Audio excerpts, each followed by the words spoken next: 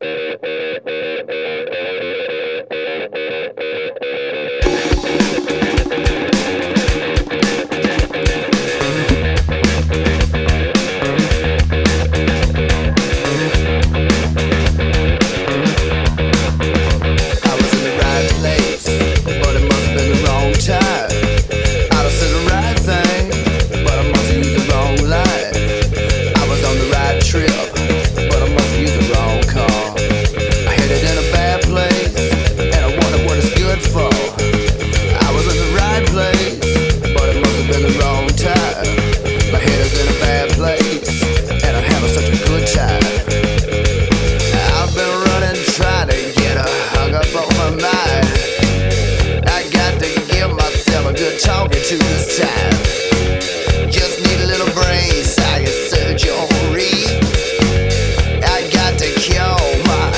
insecurity. I've been in the wrong place, but it must have been the right time.